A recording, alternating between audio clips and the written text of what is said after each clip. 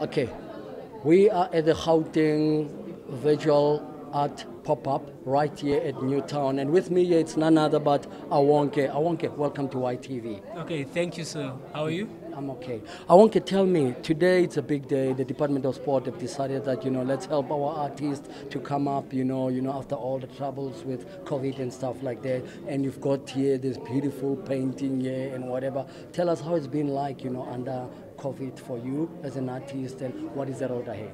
Okay, uh, on I would like to greet all the viewers. Hi. Uh, the COVID uh, it has been very like it has been frustrating journey, uh, but however, through the pain that we have actually experienced, uh, then now the department, the, the, the, the, the, government is opening an opportunity for us, those upcoming artists who are actually talented, to come and showcase and exhibit our pieces here. So the road ahead, I would say, there are great opportunities ahead. As much as uh, they've incubated us within this opportunity, so I would like to believe that this opportunity will open other opportunities. So. Awonke, where is Awonke from? Uh, Awonke is from West Rand, Western area. Uh, grew up there, uh, schooled in Carletonville. Uh, so studied uh, fashion, but um, later dropped out. So with this where the, the, the skill was honed.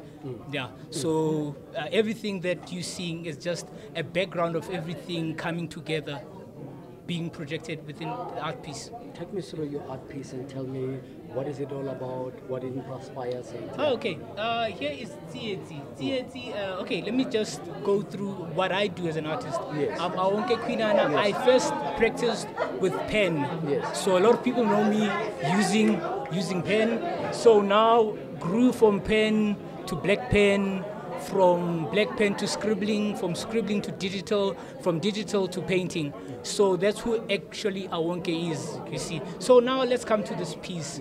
This is Tieti. Tieti uh, comes from Bekkersdal. We know Bekkersdal is from the West Rand. It's an informal settlement. Um, mostly what I can say it is Tieti uh, comes from informal settlement conceived from rape you know and as much as it's conceived from rape being groomed by the environment of hate you know of anger you see. And as much as he's been groomed by that environment now he projects that energy. It pushed him to become a thug a young thug you see. So the whole point of this exhibition, I just wanted to tell people the story that we are the product of our backgrounds. You understand? So, as much as we can say a lot of things about Tieti, but he is a product of his background. You see?